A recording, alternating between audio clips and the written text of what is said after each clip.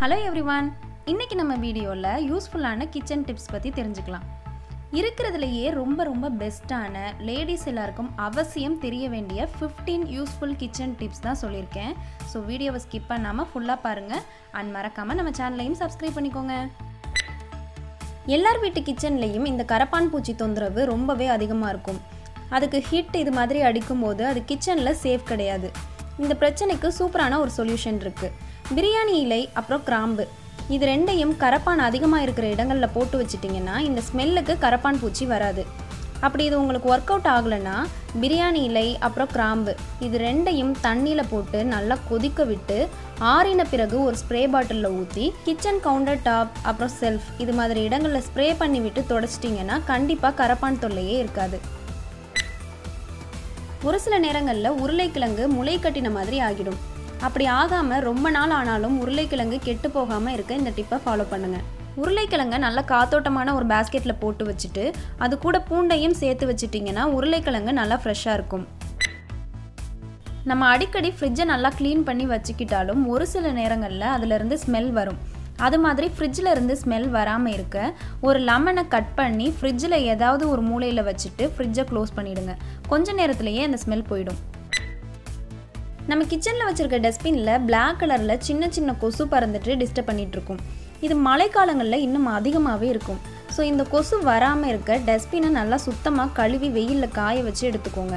அப்புறம் அந்த டஸ்ட்பினில் baking soda கொஞ்சம் போட்டு நல்லா ஸ்ப்ரெட் பண்ணி விட்டுருங்க. இப்போ அதில் ஒரு கேர்பேஜ் கவர் இல்லைனா நியூஸ் பேப்பர் ஏதாவது போட்டு வச்சுட்டு குப்பையை போட்டுக்கோங்க. இப்படி பண்ணால் இந்த பேக்கிங் சோடாவோட ஸ்மெல்லுக்கு அந்த குட்டி குட்டியாக இருக்கிற கொசு வராது. தேங்காய் மூடியை நம்ம அப்படியே ஃப்ரிட்ஜில் வைக்கும்போது டூ ஆர் த்ரீ டேஸில் எல்லோ கலரில் மாறிடும். ஸோ அது மாதிரி ஆகாமல் இருக்க ஒரு சுத்தமான காட்டன் டவல் எடுத்து தேங்காய் மூடியில் இருக்கிற ஈரத்தை ஃபஸ்ட்டு ஒத்தி எடுத்துருங்க. இப்போ தூள் உப்பு கொஞ்சம் கையில் எடுத்து தேங்காய் மூடியில் ஸ்ப்ரெட் பண்ணி விட்டுட்டு ஃப்ரிட்ஜில் ஸ்டோர் பண்ணி பாருங்கள் ஒன் வீக் ஆனாலும் தேங்காய் மூடி ஃப்ரெஷ்ஷாகவே இருக்கும். பட் இப்படி பண்ணும்போது நம்ம கையிலையும் ஈரம் இருக்கக்கூடாது. நம்ம ஸ்டோர் பண்ணி வச்சுருக்க புளியில் பூச்சி வராமல் இருக்க அடிக்கடி வெயில் எடுத்து வச்சுக்கணும். பட் மழைக்காலமாக இருக்கும்போது நம்மளால் வெயில் எடுத்து வைக்க முடியாமல் போகும். ஸோ புளியில் கொஞ்சம் கல் உப்பு சேர்த்து ஸ்டோர் பண்ணி வச்சுக்கிட்டா புளியில் பூச்சி வராமல் இருக்கும். சர்க்கரை டப்பாவை நம்ம எவ்வளோ டைட்டாக மூடி வச்சாலும் எறும்பிக்கிட்ட இருந்து பாதுகாக்கவே முடியாது.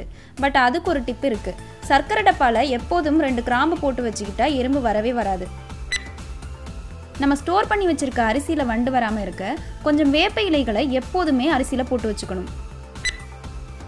நம்ம யூஸ் பண்ணுற அஞ்சரை பெட்டியில் எப்போதுமே ரெண்டு பூண்டு பற்களையும் போட்டு வச்சுக்கிட்டோன்னா அஞ்சரை பெட்டியில் இருக்கிற ஜாமான்கள் எப்போதுமே ஃப்ரெஷ்ஷாகவும் வாசனையாகவும் இருக்கும். துவரம்பருப்பில் வண்டு வராமல் இருக்க எப்போதும் ஒரு பிரியாணி இலையை போட்டு வச்சுக்கணும். அப்படி இல்லைன்னா ரெண்டு காஞ்ச மிளகாயை போட்டு வச்சுக்கணும். இது துவரம்பருப்புக்கு மட்டும் இல்லாமல் மற்ற பருப்பு வகைகளையும் இதே மாதிரியே ஸ்டோர் பண்ணி வச்சுக்கலாம். இப்படி நம்ம ஸ்டோர் பண்ணி வைக்கும்போது பருப்பில் வண்டு வராமல் இருக்கும். மிக்ஸி ஜாரில் இருக்க பிளேடு ஷார்ப் இல்லாமல் ரொம்ப மட்டி ஆகிடுச்சுன்னா கடையில் கொடுத்து சரி பண்ண தேவையில்ல. இதை வீட்டிலையே ஈஸியாக சரி பண்ணிடலாம். கொஞ்சம் கல்லுப்பு எடுத்து அந்த ஜாரில் நல்லா தூளாக அரைச்சி எடுத்திங்கன்னா பிளேட் நல்லா ஷார்ப் ஆகிடும் நிறைய டைமில் தேங்காய் உடைக்கிறது ரொம்பவே சிரமமான வேலையாக இருக்கும். பட் கஷ்டம் இல்லாமல் ரொம்ப ரொம்ப ஈஸியாக பர்ஃபெக்டாக தேங்காய் உடைக்க ஒரு சூப்பர் டிப் இருக்குது ஃபஸ்ட்டு தேங்காயில் இருக்கிற நாரெல்லாம் எடுத்துட்டு அதை தண்ணியில் நினச்சிட்டு டூ மினிட்ஸ் அப்படியே வச்சுருங்க. டூ மினிட்ஸ் அப்புறம் எடுத்து தேங்காய் உடைக்கும் போது தேங்காய் ரொம்ப பர்ஃபெக்டாக ஈஸியாக உடஞ்சிரும். டைனிங் டேபிள் துடைக்கும் போது துணியை உப்பு தண்ணியில் நனைச்சிட்டு துடைச்சோன்னா டைனிங் டேபிளில் ஈ எறும்பு அப்புறம் மற்ற பூச்சிகள் எதுவும் வந்து உட்காராமல் க்ளீனாக இருக்கும்.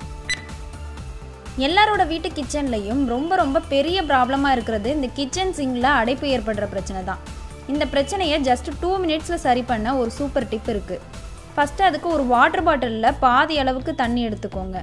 நெக்ஸ்ட் அந்த வாட்டர் பாட்டிலில் பேக்கிங் சோடா ரெண்டு ஸ்பூன் சேர்த்துக்கணும். நெக்ஸ்ட்டு வினிகர் சேர்த்துக்கணும். வினிகர் சேர்த்த உடனே ஸ்பீடாக பொங்கி வரும். அது பொங்கி வரும்போது ஜிங்கில் இருக்கிற துளையில் இந்த பாட்டிலில் கமுத்து வச்சு நல்லா டைட்டாக கையை வச்சு அழுத்திக்கணும். இப்போ நல்லா ஃபோர்ஸாக அந்த துளையில் வாட்டர் பாட்டிலில் இருந்த தண்ணியெல்லாம் பொங்கி போன பிறகு அடைப்பு எடுத்து தேங்கி இருந்த தண்ணியெல்லாம் போயிடும். அப்புறம் லாஸ்ட்டாக நல்லா கொதி வந்த வெந்நீரை எடுத்து ஜிங்கில் ஊற்றி ஜிங்கை நல்லா வாஷ் பண்ணிடலாம். அவ்வளோதான் இதை நீங்கள் அடைப்பு ஏற்படுறதுக்கு முன்னாடி அடிக்கடி இப்படி பண்ணால் ஜிங்கில் அடைப்பே ஏற்படாது. அடைப்பு ஏற்படாத நாட்களில் இந்த டிப்பை ஃபாலோ பண்ணும்போது வாட்டர் பாட்டிலில் செய்ய தேவையில்லை. ஸ்ட்ரைட்டாகவே ஜிங்கில் பேக்கிங் சோடா அண்ட் வினிகர் ஊற்றிட்டு லாஸ்ட்டாக வெந்நீர் ஊற்றி வாஷ் பண்ணிடலாம். அடைப்பு ஏற்பட்டு தண்ணீர் தேங்கி நிற்கும் போது தான் வாட்டர் பாட்டில் தேவைப்படும். வெங்காயம் அப்புறம் பூண்டு உரிக்கும் போது அதோட தோல் பறந்து போய் எல்லா இடத்துலையும் பரவி கிடக்கும். அது மாதிரி ஆகாமல் இருக்க வெங்காயம் அப்புறம் பூண்டு உரிக்கும் போது பக்கத்தில் ஒரு பவுலில் தண்ணி வச்சுக்கிட்டு அந்த தோள்களை அதில் போட்டுட்டோன்னா ஈஸியாக இருக்கும். இந்த கிச்சன் டிப்ஸ்லாம் உங்களுக்கு யூஸ்ஃபுல்லாக இருக்கும்னு நினைக்கிறேன்.